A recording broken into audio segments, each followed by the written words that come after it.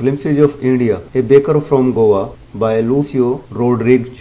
A baker from Goa lesson को Lucio Rodriguez ने लिखा है आज हम इसकी समरी करने वाले हैं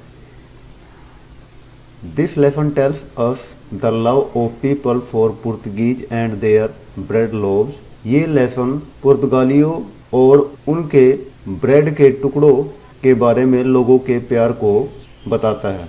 Bakers still exist in Goa baker Goa में अभी भी एग्जिस्ट करते हैं, वो अभी भी गोवा में हैं। They are also known as pader, उन्हें पैडर के नाम से जाना जाता है। दे विज़िट ट्वाइस डेली वे दिन में दो बार विज़िट करते हैं, आते हैं। इन द मॉर्निंग एक सुबह आते हैं वो and returning after emptying their basket और वापस जाते हुए जब उनकी टोकरी खाली हो जाती है, तब वो आते हैं। द जिंगलिंग थर्ड साउंड और बेकर्स बैम्बू स्टाफ बेकर्स के बाँस के डंडे की जिंगलिंग थंड आवाज़ वेक्स अप द चिल्ड्रन बच्चों को नींद से जगा देती है। The children run towards their friend to get special sweet bread bangles बच्चे विशेष मीठे ब्रेड से बनी हुई चूड़ियों को पाने के लिए अपने दोस्त की ओर दौड़ते हैं। They eat them without teeth cleaning वे उन्हें दांतों को साफ़ किए बिना ही खाते हैं।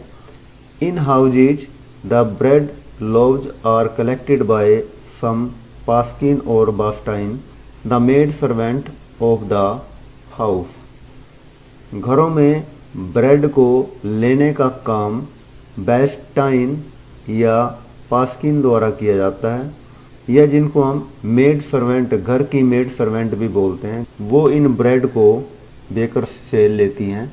Sweet bread called bol is an inseparable part of village parties और फेस्टिवल्स मीठे ब्रेड जिनको बोल भी कहा जाता है, वे गाँव की पार्टीज़ और उनकी फेस्टिवल का एक कभी ना अलग होने वाला हिस्सा है। Cakes and bolinhas are very essential in celebrations cake और बोलनियास सेलिब्रेशन के लिए बहुत ज़रूरी होते हैं। The bakers dress is called as kabai bakers की ड्रेस को कबाई बोलते हैं। In the end of the month bakers collect the bills recorded somewhere on a wall in pencil way pencil से किसी दीवार पर लिखे हुए अपने हिसाब किताब को लेने के लिए महीने के अंत में आते हैं। Bakers lead a very prosperous and happy life with jackfruit like physical appearance bakers jackfruit की तरह मोटे दिखते हुए एक खुशहाल और समृद्ध जीवन जीते हैं। पहला क्वेश्चन है what are the elders in Goa nostalgic about Goa में बड़े किस चीज़ के शौकीन हैं? They are fond of good and Portuguese days the Portuguese and they are famous loaf of bread वे पुराने अच्छे पुर्तगाली दिनों के शौकीन हैं। वे पुर्तगालियों के शौकीन हैं। वे पुर्तगालियों के प्रसिद्ध ब्रेड के टुकड़ों के शौकीन हैं। Is bread making still popular in Goa. क्या ब्रेड बनाना आज भी गोवा में फ़ेमस है, पॉपुलर है, प्रसिद्ध है? हाउ डू यू नो तुम्हें ये बात कैसे पता है? यस हाँ bread making is still popular in Goa. Bread बनाना गोवा में अभी भी पॉपुलर है। We know it as those furnaces mixers moulders and bakers still exist हम जानते हैं क्योंकि वे भटियाँ, वे मिक्सचर व माउल्डर्स और बेकर्स अभी भी गोवा में रहते हैं। What is the baker called baker को क्या कहकर पुकारा जाता है? The baker is called as pader baker को पैडर कहकर बुलाया जाता है।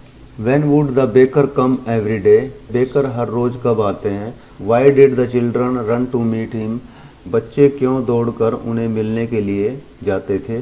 They use to come in the morning then again in returning after emptying their basket.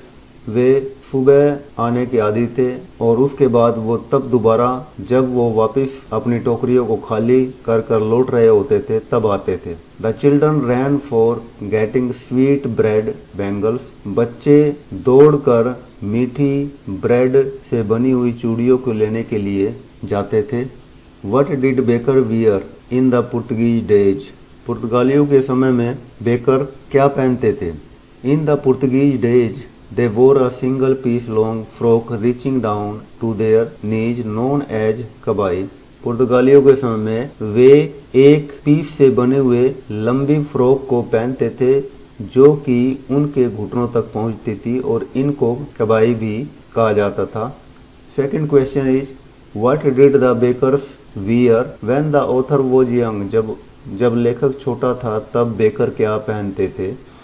When the author was young they put on a shirt and trousers shorter than full length but longer than half pants जब लेखक छोटा था, तब bakers एक shirt और pant पहनते थे, जो कि फुल लेंथ की ना होकर छोटी होती थी, परंतु हाफ़ पैंट से लंबी होती थी।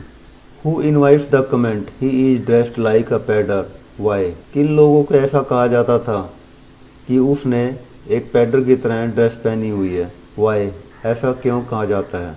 Any one who wears a half pant which reach is just below the knees invites the comment that he is dressed like a pader कोई भी जिसने एक हाफ़ पैंट पहनी हुई है, जो कि उसके घुटनों के नीचे तक पहुँचती है, ऐसे व्यक्ति के बारे में ये कहा जाता है कि उसने पैडर की तरह ड्रेस पहनी हुई है।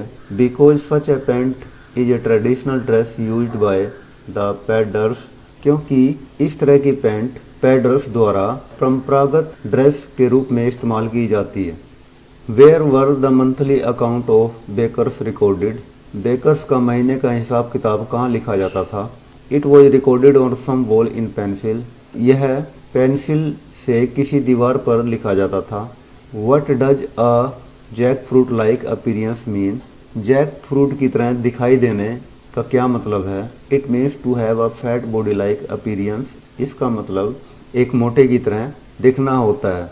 Is bread an important part of gaon life how do you know this क्या ब्रेड गाँव लाइफ का एक, एक महत्वपूर्ण भाग है? How do you know this तुम्हें ये बात कैसे पता है? Yes it is an important part of gaon life how do you know this तुम्हें ये बात कैसे पता है? We know this as without bread a party lose is its attraction हमें पता है क्योंकि बिना ब्रेड के पार्टी अपना आकर्षण खो देती है।